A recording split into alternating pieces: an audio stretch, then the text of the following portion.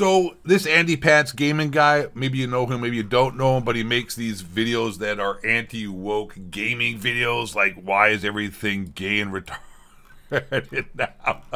Dude, are these videos monetized? If so, I'm gonna start naming my videos like this because this is hilarious.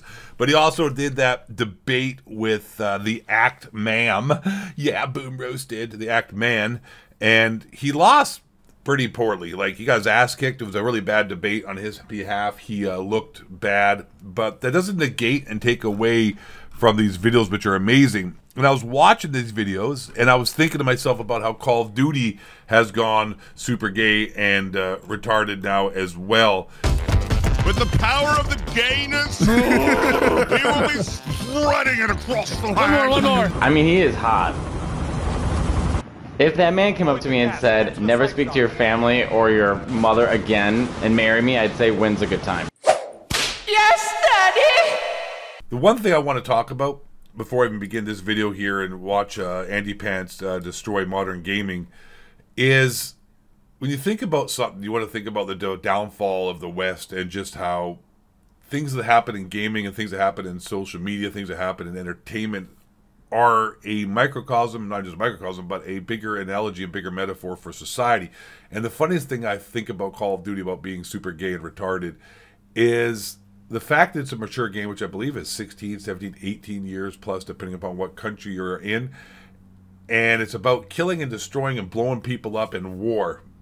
But uh, they want you to moderate your voice chat they want a moderator voice chat. They want AI to ban you if you say the naughty words in a game that's supposed to be for 18 plus and is also about killing people. So blowing people up and shoot people in the face thousands of times a day is okay, but saying naughty words isn't. And that just shows like how fucked up and backwards our mind and uh, our thinking and priorities are. And also, I just want to point out so Andy's Pants Gaming stole my lisp and joke. He talks like this, guys. Personally, I do a much better job talking like this. Hey, guys, let's go and play a very exciting game here. I'm so excited about Call of Duty this year, guys. It's going to be amazing. I can't wait to use the LGBT plus community cards. It's so amazing. Inclusivity! Anyways. Grew up in an era where Xbox fall lineup was like Splinter Cell, Max Payne, The Saboteur. That's right, little piggy. Gobble down the gay communist slop Xbox is feeding you like a good little sheep. Guys, in case it's not clear, we live in clown world now. And it's all the fault of liberal cuck men who have allowed this because somebody is continuing to play these games. So if you were. Not really. Not really. Listen, I mean, Andy's talking about this. Like, I'm going to go a little deeper here. We'll go a little deeper. Not really. Because look at Ubisoft's stock plummeting 50, 60, 70%. It was worth $90. It's now worth 10 It's like down 80% or something crazy like that. I can't do math. I'm not Chinese, but I can drive. How much signal I need to cut across eight lane? None? I turn now. Good luck, everybody else.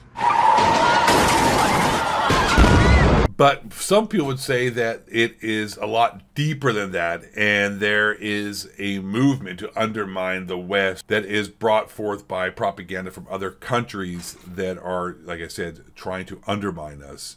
And these people don't care that games are not doing well because they are on a social virtue mission that exceeds value and profits, which they all soon find out when they get fired doesn't really because they're on the street sucking dick for dollars, which is cool. Go out and do it for free anyways, but then they get paid to do it. But there's a lot difference of a problem here uh, with the whole uh, Bezmenov ideology subversion video, which I'm sure a lot of you have seen. If you haven't seen, too bad, so sad. But it's the ex KGB agent who tells people in the 70s, late 80s, or late 70s, early 80s, in an interview with American television that Russia has been and is using ideological subversion to undermine the West with Marxist communist ideas and infiltrating the school system, and that will permeate for years and years and will destroy us which seems to be happening.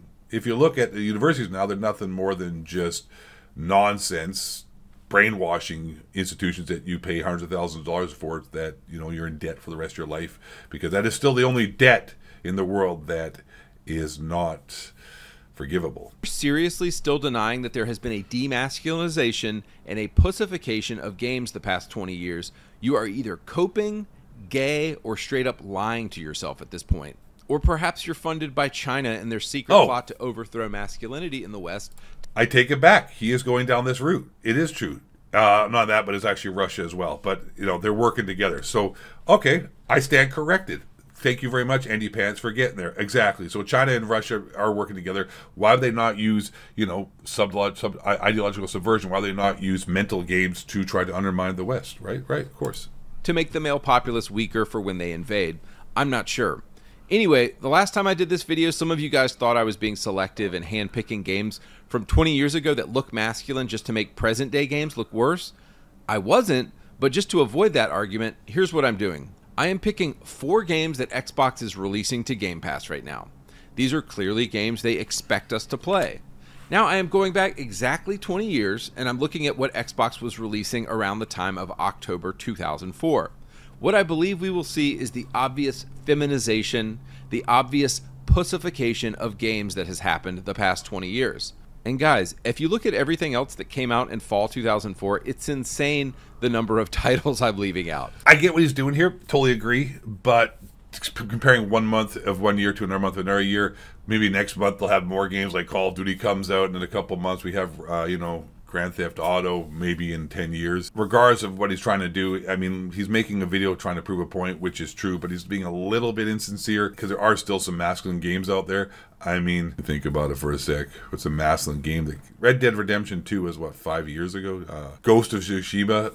Okay, hold on, that's fucked. That's a Ghost of Tsushima with a chick, and I was a samurai which would never happen. Also, just want to make this clear right now: the empowerment of women was the biggest decline of, uh, or was the biggest mistake and led to the biggest decline of our society. Empowering women, just saying, tricked them into thinking that being women and staying at home and raising a family is slavery, but going to have to work a nine to five job every day to pay taxes is somehow not a lot worse off of a situation. I mean, the governments will whatnot convince women to go work so they can help be tax tax slaves. Just saying taxation is theft as well. It was only supposed to be brought in during the war times to help pay for it, and it was supposed to be taken away, but then they just decided to keep it. I mean, Half Life 2, Tony Hawk's Underground, freaking KOTOR. It's insane. Now you might say, but, but, but you're comparing indie games with AAA games. Yes. Look, dude, I don't care what you want to call these games or how you want to classify them. All I know is I sit down at my Xbox and these are the games available to me. And Okay, Andy is confirmed gay though as well because he owns an Xbox over a PlayStation. in October two- 2004. Meanwhile, these are the games Phil Spencer and his squad of gay men think that I actually want to play in October 2024. So I'm highlighting a disconnect here in video games now from video games 20 years ago, and people can't seem to come to terms with it. All right, let's let the embarrassment begin. And we're starting with Wargroove 2. Steam says this Trouble, sure. We was kegs and shit. Listen, guys, everybody get behind me. Wakanda. I want to put out there. There, uh, Wakanda, whatever that movie was. I don't know. Uh, worst fucking movie I've ever seen in my entire life. And I'm not being racist. It's horrible. My uh, immigrant wife also said that movie sucks, and we didn't watch it past 20 minutes, and it was free on Netflix. What was it called? Uh, I can't remember. Horrible movie. The worst movies of all time were that Black Panther. Shores of Aurania, an ambitious new faction has unearthed forbidden relics capable of catastrophic consequences. But how far will they go to achieve glory? Dear God, like Xbox, you expect me to play this?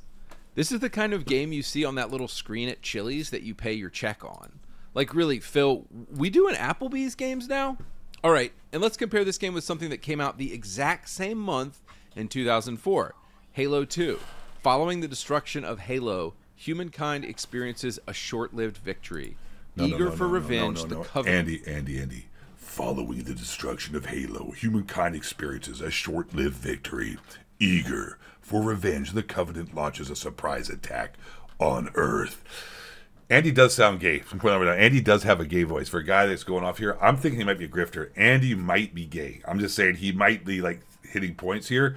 But the fact that he he got his shit kicked in from the act man, uh, I'm just thinking this this might, dude. I this dude definitely has a feminine voice. Covenant launches a surprise attack on Earth. Totally. Halo 2 is one of the greatest games on Earth. Back in 2004, I was in college and living in a house of guys. We would literally just crowd around the Gay confirmed. I was living in a house of guys. Gay. and take turns grabbing the mic and roasting people. Oh, side note, guys, did y'all see that Call of Duty turned on public proximity chat? It's like Activision is starting to figure out where their bread is buttered. Like, why has proximity chat ever been turned off in a video game? It's, you know, I know why. It's because people are gay and they're sensitive and they don't want their fifis hurt. But um, it's it was cool to see that Call of Duty has turned that junk back on because they realized that there's like been a serious decline of masculinity in games. So anyway, back to Halo 2. The campaign is incredible. The multiplayer is incredible. There has never been anything like Halo 2, nor will there be anything quite like Halo 2 in the future. Now, fast Never know. forward, and Xbox, who is supposed to be releasing something just as good as Halo 2 in 2024, is like, uh, do you want to move some colored blocks? Phil, you're trash, dude. You're a cuck. This is why nobody is buying Xboxes. All right, next game. We love Katamari. The stop at nothing pushing prince is back and ready to re-roll. Yes! Excited! The king of all cosmos accidentally destroys all the stars in the sky. He orders you. If you like this game, unsubscribe right now. I don't need. I don't want any of you to watch my videos because you're obviously children. I can't have you around. I'm not P Diddy. Guy's princely son Outta to here. put the twinkle Beat back in the heavens above. Now, yes, I fully understand this is a remaster or a sequel of, ironically, a 2004 game, but it's still really, really gay. Like, Katamari Damacy is a very gay game, and they chose to remaster it, and that says something. They could have remastered The Saboteur right now. They could have remastered a masterpiece. They could be remastering the absolute Chad game, Max Payne 1, but no. They're remastering a game in which you put the twinkle back in the heavens above. Let's compare this with one of the manliest games ever made, Red Dead Revolver. Red Dead Revolver. I'm helping out, Andy. If you need like masculinity uh, hints and tips, I'm your guy. Also hit that like button, subscribe right now for big dick energy. You live as a bounty hunter, bringing criminals to justice while struggling to unravel the mystery of your past. You must find those who murdered your family and take your reve- revenge. Guys, look, I understand that Phil Spencer is throwing us dudes a scrap by giving us Indiana Jones and Stalker 2 this fall, but Indiana Jones is likely going to be full of girl boss wokeism, and Stalker 2 is probably going to be the only good Xbox release this year that's good at all. Y'all need to understand the difference here because we had like 10 awesome games come out in the fall of 2004 20 years ago and there's like like one one or two good games coming out this fall like Space Marine 2 uh Wukong like what else is there dude and now we're being asked by games to put the twinkle back into heavens like come on dude and this is exactly what I mean when I say that the LGBTQ mafia has ruined our hobby. And it's because y'all let them, dude. We let them. All we can do is to stop playing these gay games. That's how you stop this. We have stopped playing it. Look at Ubisoft. No one's playing X Defiant. And I barely talked about Red Dead Revolver. It's an awesome game. It's all right. Here's the next gay game we're talking about. All you need is help. Dive into a quirky multiplayer co-op puzzle game where adorable, fluffy, cute-shaped creatures jostle against each other to help solve puzzles together. Like, I'm sorry, but if you got off the shift at the steel mill doing backbreaking manual labor all day and your first thought is, I can't wait to play with adorable cube shaped creatures, I hate to break it to you, dude, but you're gay. You're definitely getting railed by your boyfriend while you play with your adorably fluffy cube shaped creatures. And you know, I And there's nothing wrong with that, guys. Okay, everyone, let's get together and love one another. Come on. get it. This game is aimed at children or whatever. But like I said, we had 10 badass new games coming out at this same time 20 years ago, and now we have none. So if you deny that the industry is gay now, I think you're just lying. Um, so what based game shall we compare this with? Oh, just possibly the greatest game of all time. GTA San Andreas released October 2004. San Andreas is edgy as hell. It's interesting. It has humanity. And it's just an incredible story with lots of twists and turns. It almost makes a tear come to my eye to think about what we've lost since 2004. I can't tell you how many hours we spent with like four guys crowded around the screen on this game, seeing what kind of junk and mayhem you could cause in this game back in the day.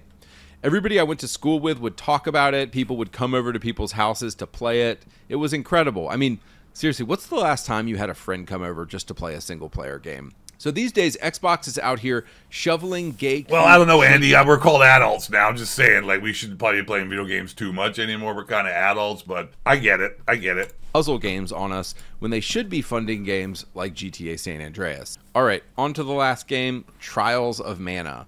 Now, I know some of you guys are going to be triggered by this because you love anime, and I too remember playing Secret of Mana as a child. Anime's gay. Get mad, kids. Style is gay, dude. This is a gay art style, and I can't get into this game. Now, you might like childhood games with more of a kiddie art style. That's cool. Do you? But to me, this art style ruins this game and it looks very gay. That's just my opinion. I mean, you can even zoom out and look at the art style of the eight games we've been talking about here, and everything from 2004 looks way more badass, way more masculine, way more cool, etc. Obviously. All right, and the final game that we shall compare Trials of Mana with is a game that I hear people talk about constantly Def Jam Fight for New York. Fight for New York turns any player into a hip hop legend. Step into the shoes of a ruthless street fighter battling for control of Luda! hip hop. Fat Joe. That's one thing that's funny about games is like 99% of all people that play video games are guys. Just like 99.9% of the world's population is not trans. But that they make it seem like as if that's like such a big deal and we have to focus on it so much when no one one's even classified as those people or even are applicable to that situation. Makes no fucking sense. Games yes, it does. by It's a called ideological subversion, you idiot, because these people are all a bunch of brainwashed cult members. Anybody you see complaining about me or calling me a grifter, it's it's just a communist bot. It's just a gay liberal communist bot. I don't think so, uh, little man. This guy's like five foot seven, but I'm not roasting. I agree with him, but I still think he might be grifting. in my comment section because people want to take me out so bad for talking about this stuff. But look, guys, the Western media hates masculinity. They hate you. They want you to be a good little piggy, eat from the trough, and if you don't have any options for masculine games, they're hoping you'll play Valorant and you'll play um, Apex and you'll begin to question your sexuality and hopefully become gay and trans because you're surrounded by homo flags. Whether it's BlackRock grifting us for trillions of dollars, Dude, this guy's actually there. We go. Now we're getting there. BlackRock, Vanguard, State Street. There we go, Andy. China intentionally wanting to kill masculinity in the West so that they can easily invade America one day. We know that powerful forces want you to not be a man right now.